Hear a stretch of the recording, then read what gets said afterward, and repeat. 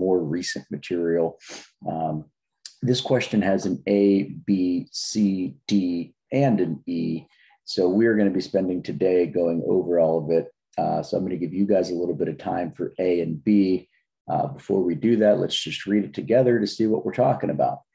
So this problem has a bunch of stuff. First thing I see before even reading the paragraph, I see the graph of f, f regular.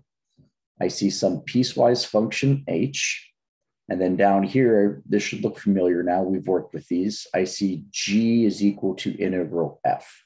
So there's three different working pieces. I have a graph of F. I have a function for H, and you can see which piece goes to where. And I have this thing G equals integral F. So we're just going to keep those three things in mind and probably not pay too much attention to this paragraph yet. They're just recapping what they what we just said. The graph of f is given from negative 1 to 11. Yep. The area is bounded by the graph of f on da, da, da, or 4, 3, and 2, respectively. They've put those areas in for you. So if we if we need an area at some point, which obviously you're going to, they're written into this problem four, three, and two. And since this one's underground, we're going to know that that one's negative three. All right. And then it says g of x is given by this. All right. So in about 60 seconds, you're able to look at this and say, I've got a graph of f. I have three areas if necessary. This one's going to be negative. I have a piecewise h. I have a thing g equals integral f. I've got my head wrapped around what's going on we're going to go on to part A and B. So for part A, it says show that h of x is continuous. Now that goes all the way back to the beginning of the year. Talk to me about not necessarily this problem, but if something's continuous, remember I told you there were three rules of continuity, and I told you hang on to them because they're going to come back eventually. Here they are.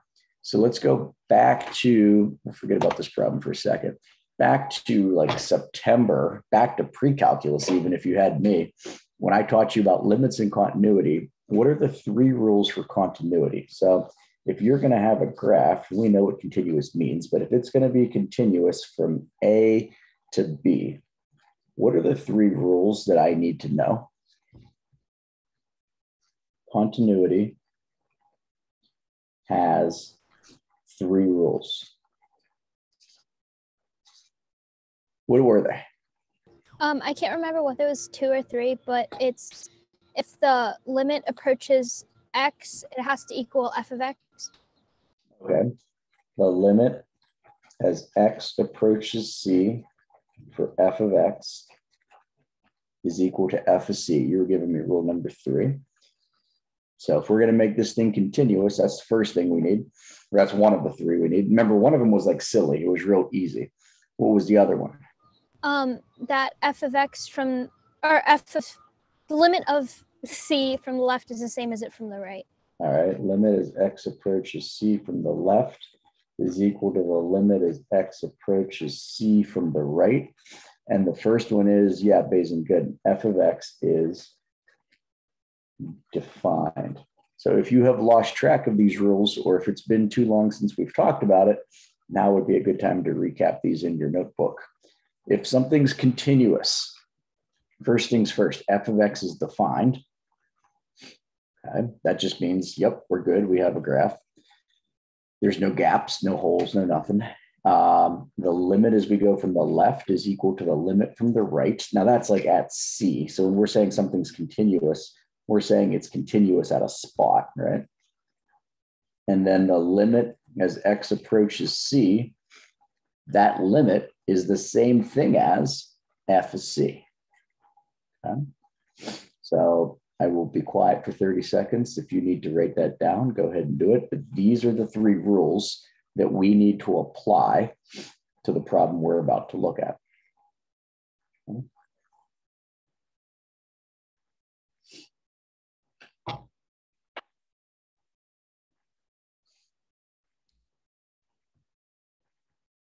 All right, so back to our problem.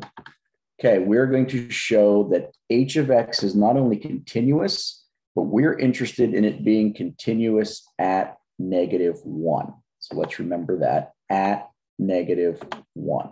Okay, we'll come back to this. I'm gonna let you guys try these. Okay, next, order the values of all of these are h double prime. Order the values of h double prime of negative two, two, and 10. All right, now, what do we have? We have h of x. We're being asked about h double prime. So now when it comes to taking the derivative of a piecewise function, it's no different than anything else you already know. You just derive both parts. So for example, h prime of x, h prime of x would be equal to, we'd make our bracket, it's just going to be equal to 2x plus 3. The other one's going to be g prime of x. Okay the bounds aren't going to, nothing's changing. So that's x is less than negative one. X is what they wrote there. That one is from what, negative one to 11. Okay, so that's how you would find h prime. I will let you think through h double prime and then see what that means in terms of plugging those values in. Okay, so for A and B, A, you're trying to show all of this, and B, I think you should have a pretty good idea of what's going on. So it is 342. At 350, we will talk. Ready, go.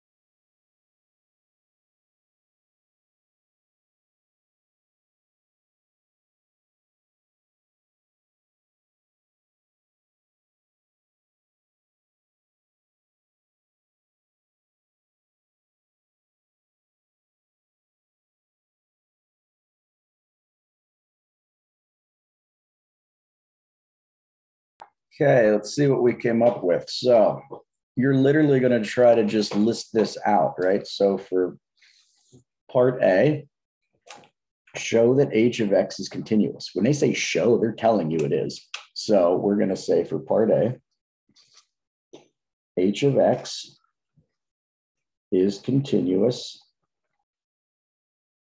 at x equals negative 1 because, all right, we want three things. We're going to show that it's defined. So just plug it in. h of negative 1 is equal to, and plug it in. Which one do I plug into for equal to negative 1? The top function or the bottom function? The bottom. All right, so that's going to be equal to g of negative 1, which is going to be equal to, we got to hop down to g now to figure this out. g of negative 1, what would that be equal to? That would be the integral. So you're going to see these start to increase a little bit in complexity. That would be the integral from 2 to negative 1. But are those bounds in a good order? No. So I'm going to switch to bounds and put a negative sign out front. So we're going to switch that. And then that's going to be for f of t dt. So now what is the area of f from negative 1 to 2? Negative 1 to 2, it's 4. But we got this negative sign in front of it. So it's negative 4. Does anybody have any questions on part A, the first rule? All right, next, the limit as h approaches, I'm sorry, x, excuse me, as x approaches negative one from the left. For which graph are we talking about? This is for h, right? Of h of x is equal to the limit as x approaches negative one from the right and we better say what that is so we can look like we know what we're talking about. So, what is that limit? It has to be graphed. Does it? We have a function for it. Think about this as a problem. Just plug in your limit values. So I'm here's the graph for h. If we already did the negative one from the left or the right, which one did we already do? If you think about this graph from negative one to 11, four, negative, four. negative one to 11, wouldn't that be from the right?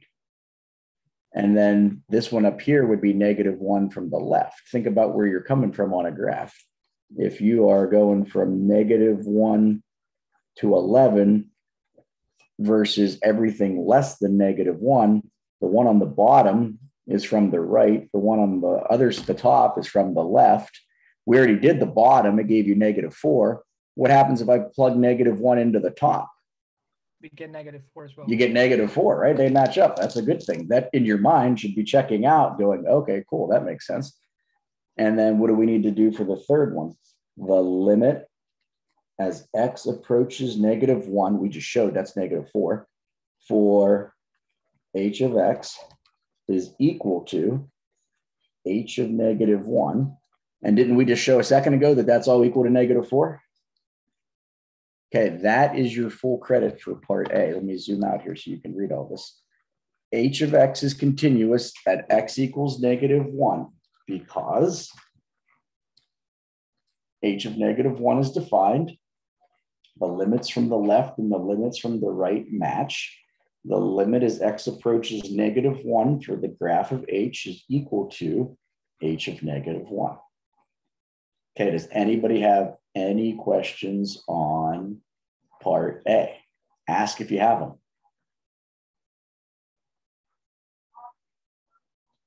Okay, back to the problem. We are going to go into part B. All right, so now we are trying to order all of this stuff that's talking about H double prime we're trying to order it. So if I'm going to order it, I should just find it first. So let's find H double prime.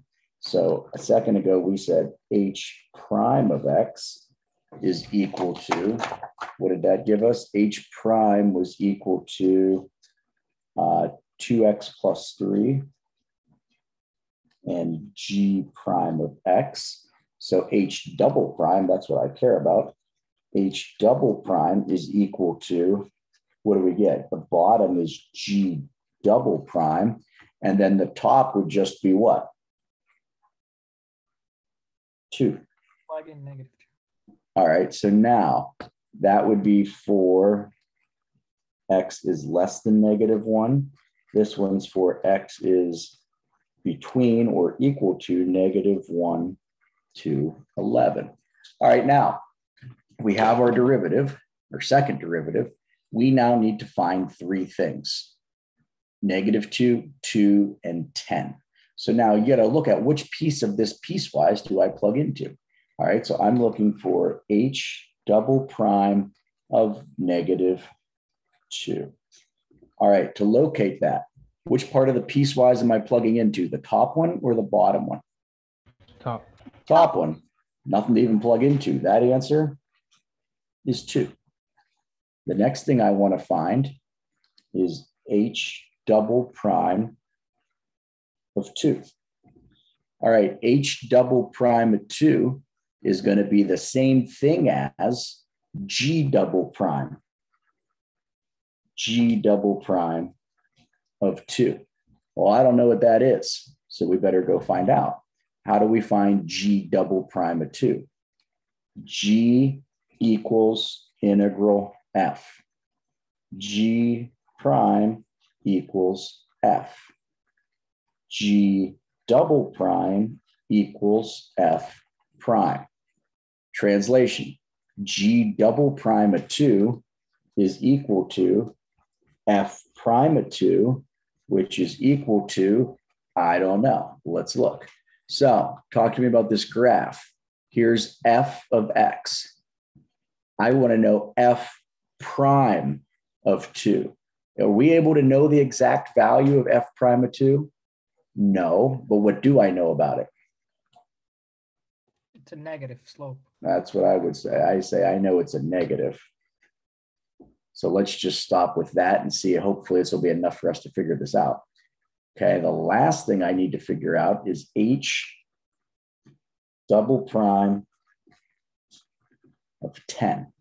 So if we're going to do h double prime of 10, sounds like the same story.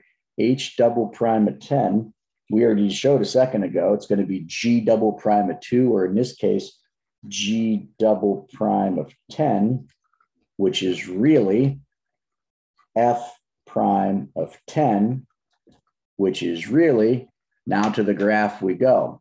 What's up at 10? f prime of 10 is what? Zero. Because that's a turning point, right? We good at that being the horizontal tangent? Bingo. Now I have all of the information that I need to answer this question. I now know that h double prime of 2 is 2, h double prime of 10 is 0, and I don't know what this is, but I know it's negative, and now I have the information to list it. So you would have just shown this kind of work here, and then what's my answer? So the smallest one is h double prime of 2. So h double prime of 2 is less than h double prime of 10 is less than h double prime of 2. And we've got an answer. Does anybody have any questions on A or on B? So as you're seeing, I think that's super doable. It's going to challenge you a little bit more to think maybe, but if you're understanding these ideas now, you're going to start to see down the stretch, cool, this makes sense. I just have to apply it in different ways. Not that big of a deal. Does anybody have any questions on A or B?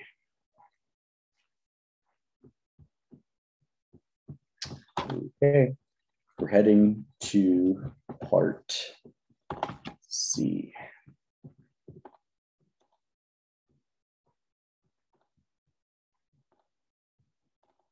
All right, part C. is new information, kind of, sort of. We're going to do part C together. All right, for C, I had mentioned this rule earlier in the year and said, yeah, we'll come back to it. And today's the day we come back to it. So we've got a limit question. All right, how do we normally tackle a limit question? What's the plan? We plug in the um, Sure. All right, you guys plug in six for me real quick. See what you get. I'm gonna do the same thing. Plug in six and see what you get. The limit as x approaches six, that would be equal to g of six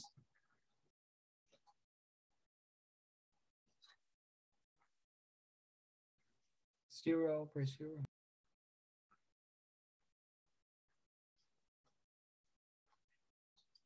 All right, so what do we know about G of six? Let me back flash back here for you. G is six. How do we find G? G is six. All right, so G is six is two to six. Two to six. Are we good at be a negative three? The G of six part. So if that's negative three, and then this piece right here is plus three, are we good with that answer being zero over zero? All right, let me turn this off and recap. There is a limit thing called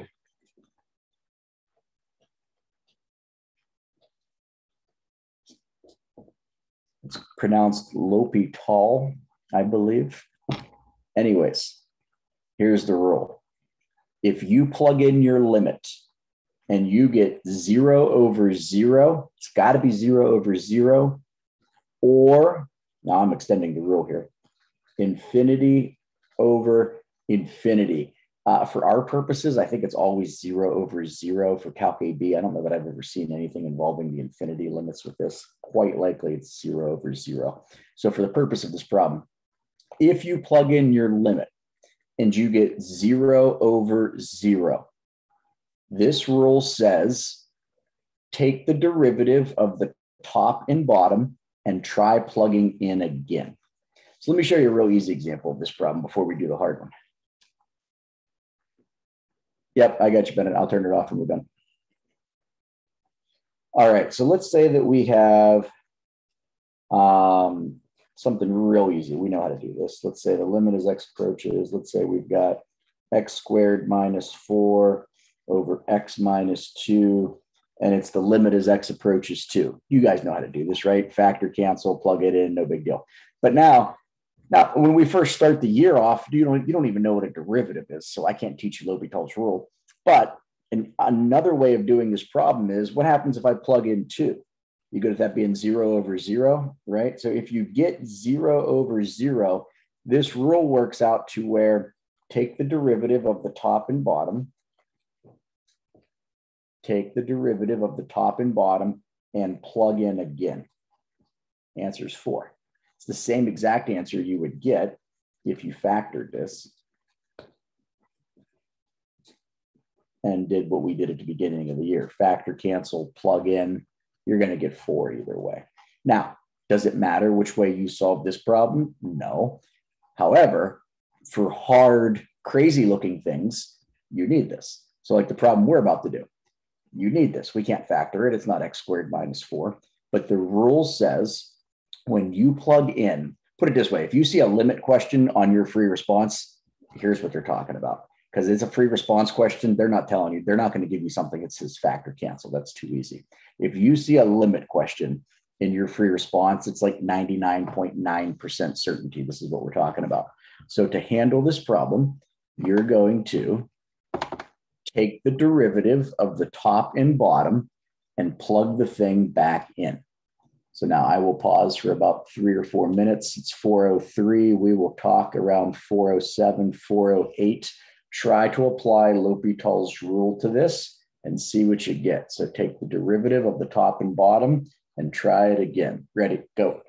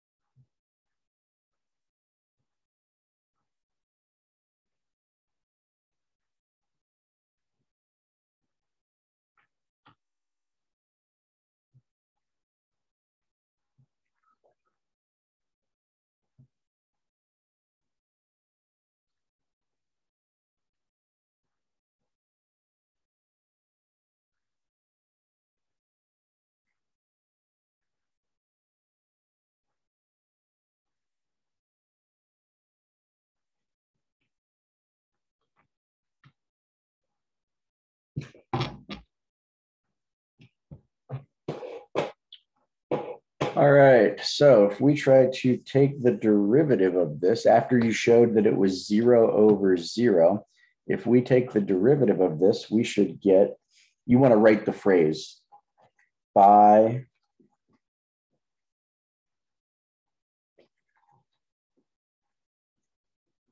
by L'Hopital's rule, and then we're going to show derivative of the top and bottom, but you want to write this down, and then it's going to be, what's my derivative? G prime of X plus, how do we take the derivative of that? E to the stuff stuff prime. So 3e to the 12 minus 2x times, what's stuff prime? The 12's gone, negative 2 divided by 2x. Okay. All right. Next, we plug in 6 and see what we get. So this is g prime of 6 plus, what do we get here? If you put a 6 in up there, remember that makes it 0, right? So e to the 0. e to the 0 is 1. 3 times 1 times negative 2 is a negative 6 over 12. Okay, last thing we need to do now is find g prime of 6. Going back to the beginning there, g prime of 6. g is equal to integral f. So g prime is what? g prime would just be f. So if we say g prime's f, f of 6 is 0. So this is now 0 plus a negative. It's negative 6 over 12. The answer to this question is negative 1 half. So, not hard. You're just learning on the fly. Oh, I see a limit question in my free response. Pretty good chance I should plug in. Got it. It gave me 0 over 0. There's this rule. Derive top and bottom. Plug in your thing, and you've got an answer. Any questions on C? All right. Take a look at D. For question C on the free response, before L'Hopital, you do the rule, you'd have to write out and show that it's zero over zero. Yes. So you are going to start by showing that right there, and you came up with zero over zero. And then after you show that, you head right down to here and say by L'Hopital's rule, and then you go from there. All right, we're heading to part D. We got an integral, some sort of integral. All right, do we have any ideas on this one? What we could do? Think about when we did area bounded. Remember how we smushed stuff together? Just like you can smush stuff together, you can also uh, rip it apart. So would it make sense to say that that is the same thing as one to seven? Now, remember what we do with constants you can take a constant out front. Three h prime of 2x minus 4. I'm going to rip this apart. Plus the integral from 1 to 7 of 5. So just like I could smush this together, I can also rip it apart so I have something to work with. All right. All right, questions now. How do we integrate this? That's easy. Do we know the integral of this off the top of our head? Should be saying no. So what do we do if it's not something easy? We got to do what? Use substitution. Use substitution. So I'm out of hints. That should be enough to get you going. You want to do a U substitution on the left see what you come up with. I'll give you five minutes and we will talk. Ready, go.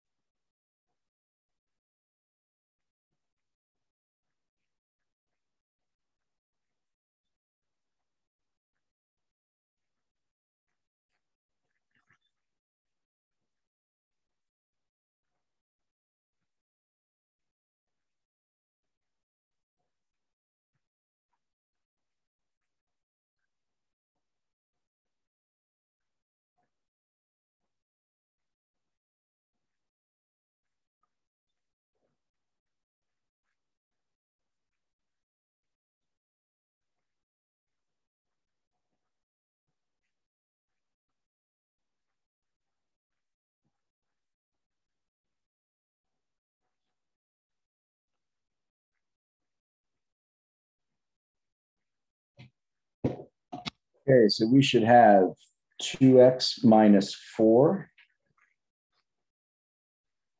So that makes du two dx, which makes dx du divided by two. So if we plug this in up there, that's gonna be, let me turn the screen off for a second so we can see better. All right, so does anybody have any questions at that point?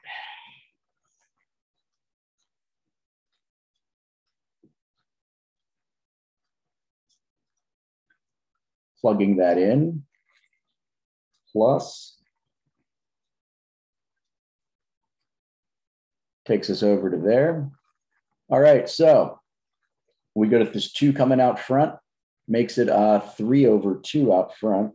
So this is three over two, integral one to seven, h prime of u du plus one to seven, five dx.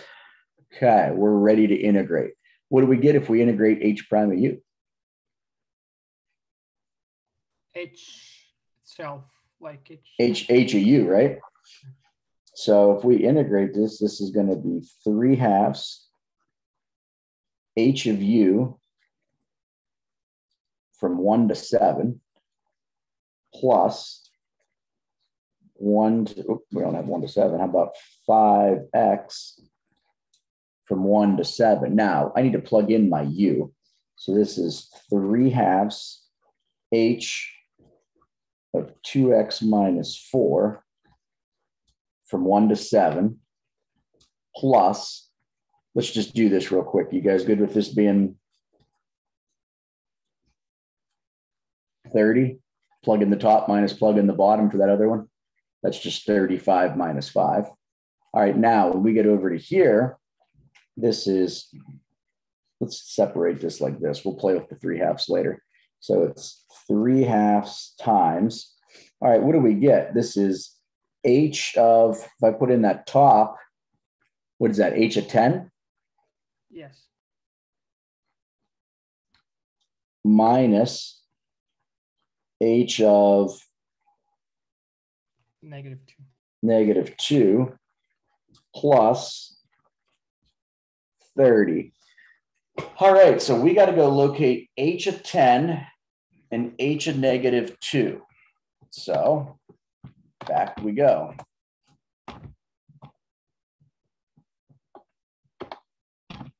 All right, we're at h. h of 10. h of 10 is the same thing as g of 10. And g of 10 is the same thing as the integral from 2 to 10 of f. 2 to 10 of f. That result is what? Negative 1. So that's negative 1. All right. How about negative 2? If we plug in negative 2, which part of the piecewise is that going to, top or bottom? Top.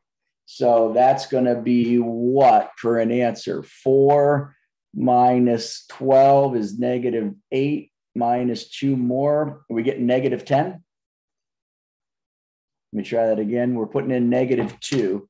So that's 4, Negative twelve. 4. Oh, we're putting in 2, huh? Sorry. 4, negative 6 is negative 2. I'm getting negative 4. Does that make sense? Do that one more time. We're putting in negative 2.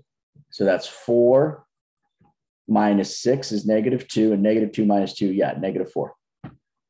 All right. Plus that. Don't forget the three halves. Uh, you can stop right there, guys. You've got everything plugged in. We don't need to do anything else. They give you full credit for that, right? There. As soon as you have figured out anything that is a plug-in, you can stop right there. Now we could go through and do this math, of course. Negative one minus minus, that makes that a plus. That's going to be three. That's going to be nine halves. You can add your 30 to your nine halves. Uh, it ends up giving you 69 over two. But you can just stop right there and you're good. The second you get everything plugged in and figured out, you're in good shape. Okay? Any questions on part D? Wait, why didn't you plug in uh the ten in the first um the I did, I did, I did. So the first one gets plugged in down here because 10 fits this interval down here. oh yeah yeah the range okay yeah Yeah, so g of 10 now becomes the integral of f from 2 to 10, and that gave us a result of negative 1. Yeah the reason that you didn't like plug it in in first um, Y- Yeah, so if you have a piecewise, you plug it into whichever boundary it fits in. yeah thank you Yep. All right, last part for the day. We're doing a differential equation to wrap things up. So we know that dy dx is equal to that mess. And we want to find a particular solution for that point negative two, two. So first things first, you should split your variables. And that would give you one over y minus one dy is equal to h prime of x dx. Integral, integral, off you go. See what you get.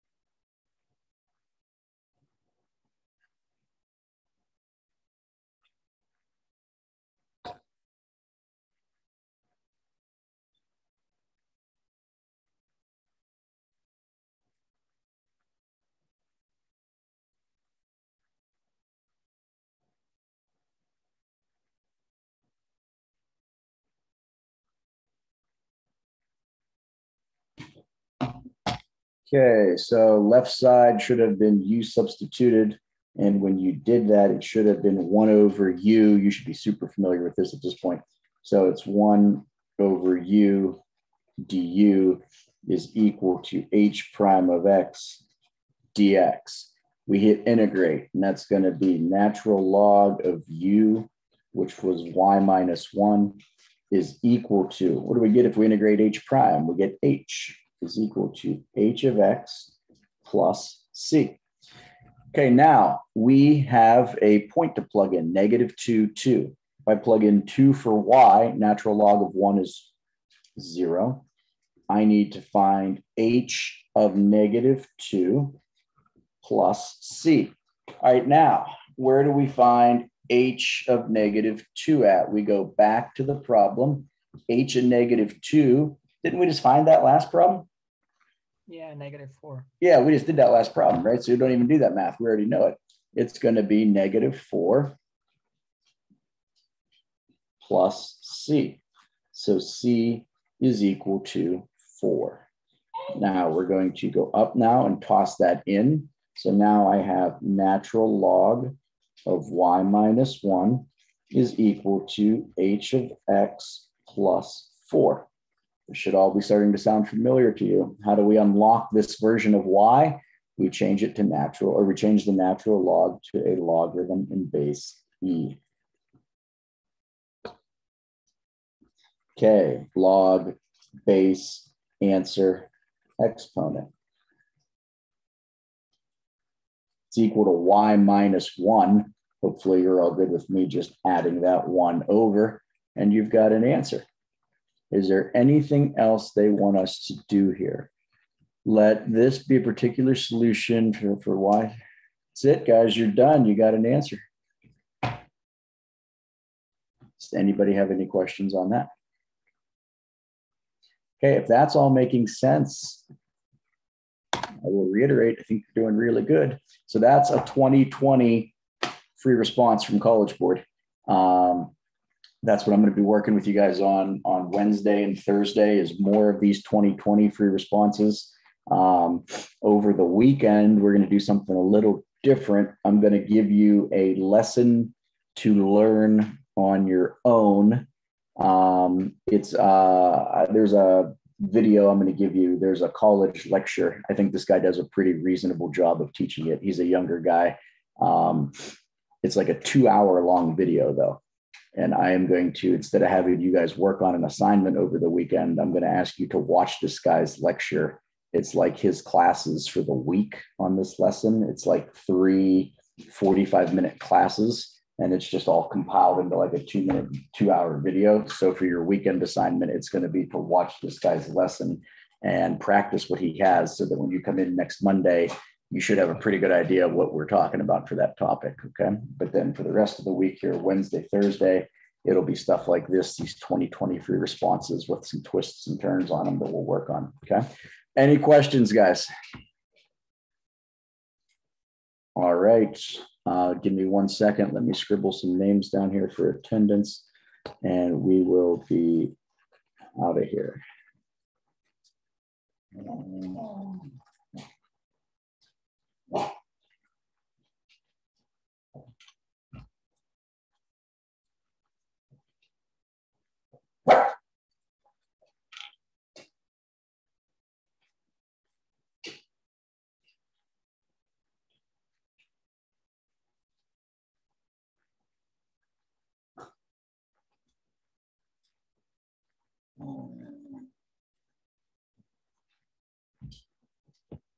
All right, I got them. All right, guys, have a good day, and I will see you tomorrow. Thank you, Mr. Baker. Thank you, You're, Mr. wel- you're welcome. See you guys.